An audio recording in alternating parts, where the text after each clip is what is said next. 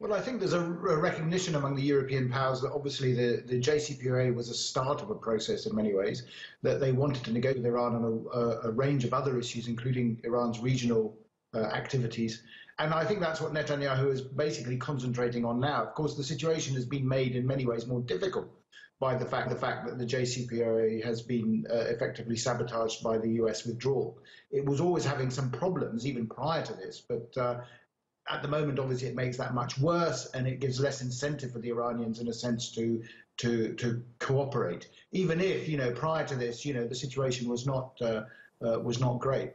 Right, because it seems now that Israel is asking the EU for its support, when just uh, a few weeks ago, Israel refused to lend the EU Israel support in the Iran nuclear deal. So, did, do you think Israel kind of missed a chance uh, to earn some concessions from Europe if it hadn't been so hard line against the Iran nuclear agreement? I think I think if the Israelis and I, you know, I should distinguish here. I mean, I think there were many Israelis who were probably critical of Netanyahu's rush to get uh, to get Trump to, to withdraw from the agreement.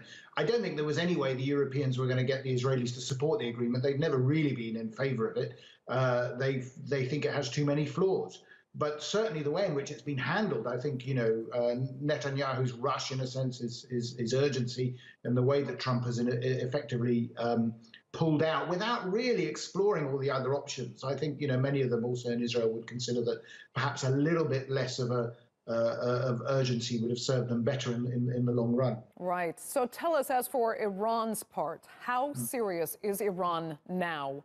About working on its uranium enrichment capacity? Well, I think it's going to make some strong signals in the direction of sort of basically trying to increase pressure on the Europeans to deliver.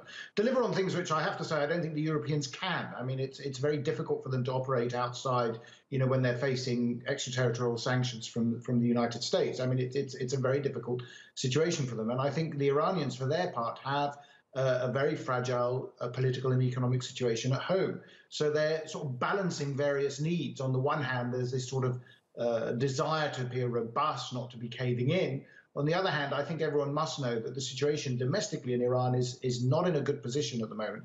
The economics are, are very, very weak.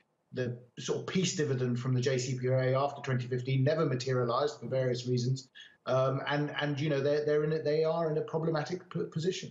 They are. Uh, listen, though, I mean, do you think Iran would ever heed calls to move mm. its troops out of different areas mm. in the region? Or is this sort of pressure only really leading Iran to dig its heels in even further? Well, the interesting thing here is really uh, Netanyahu's diplomacy with Putin.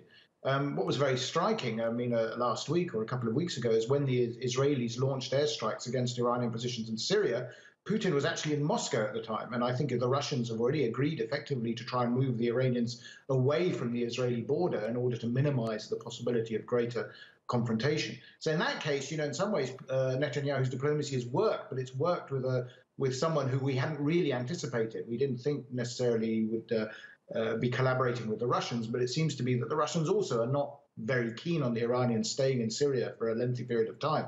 So Iran, again, as I said, has this sort of very awkward position it has to deal with. It has an ally in Russia that actually, um, you know, also, you know, in some ways sees Israel's point of view.